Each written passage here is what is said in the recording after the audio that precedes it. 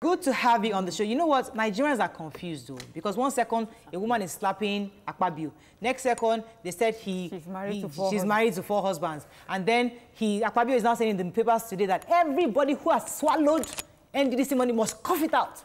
There's just so much drama happening. You made some allegations. Could you tell us, break it down for us, help us understand what is happening, what even happened at NDDC, and why we're here just hearing about it today? when we started working on this, it was as though we won't see things that will be unhealthy. We started working on NDDC last year, March, and sometimes towards December or so, yeah, December, towards the end of December, around December 29th, 30th, we unwrapped some few things that we could trace to the present uh, members.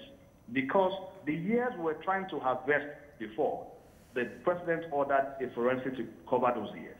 So we were trying to now shift our attention to the present time. And we wrote a petition to the national uh, effect, but nothing was done. But we kept mining documents until April, when the commission denied ever awarding any contract since they got there.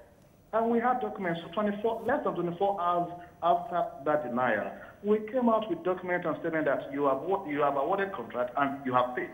And there are some things with those contracts. Number one, they, they ran foul of every extant law guarding that process.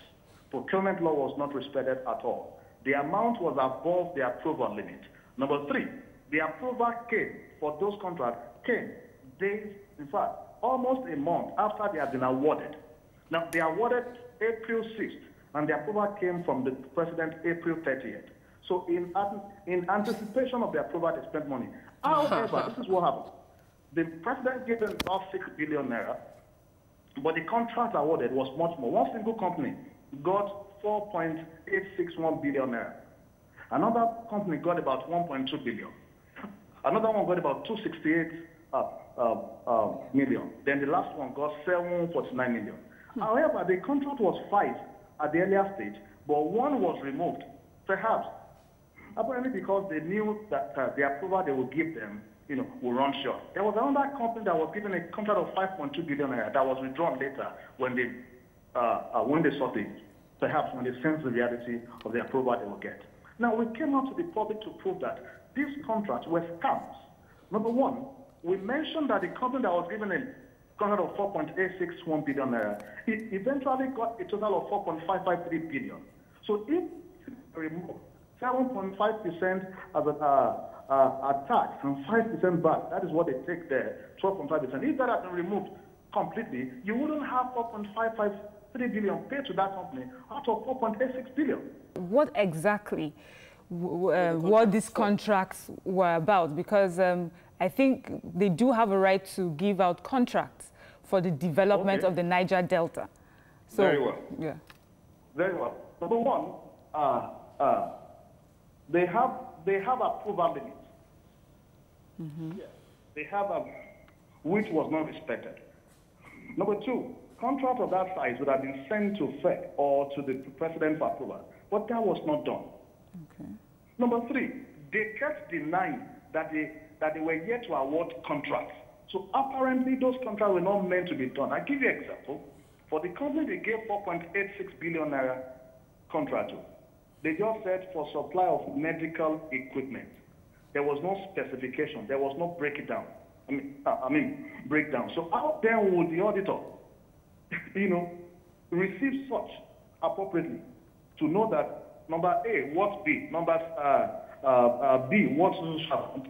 Then there is something they do. They have a warehouse containing lots of medical supplies. So the suspicion is this: when you put out such a contract like this without specification, perhaps nothing will be supplied. At the end, of course, you just open the store because they don't, they may not keep record, or they may not be able to trace the record because you don't even know the exact things that were supplied. Money was disbursed April 6th. Before the mm-hmm. approval. Approval came April 30th. Oh my So goodness. In this same country. And it's been so ongoing. You, this is not the first procurement time has been. had scandals within the NDDC. NDDC's always had. You know, Minister. Fashola has always complained about the procurement process. Mm. First, it's cumbersome, mm. and then there's so many people you have to hand out here, you have to give something to. It's not a smooth process. So money can actually release our coffers without proper presidential or FEC approval. Mm. One thing I got from this whole conversation when I even watched him on television and, when, and now is the fact that there's a cycle. So you know a big man and you agree on a contract. So I'm going to be a consultant. I'm an engineering company. I'll consult for maybe for Niger Delta, COVID-19, whatever it is, and you use your office to get approvals.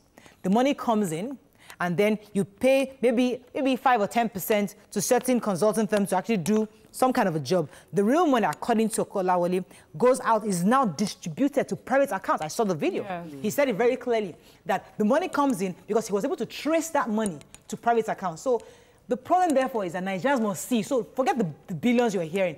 Understand that when these people get this money, they take just a small portion to do a tiny bit of the work and then share the rest. And that's the real crux of that corruption that we're trying to fight. And it-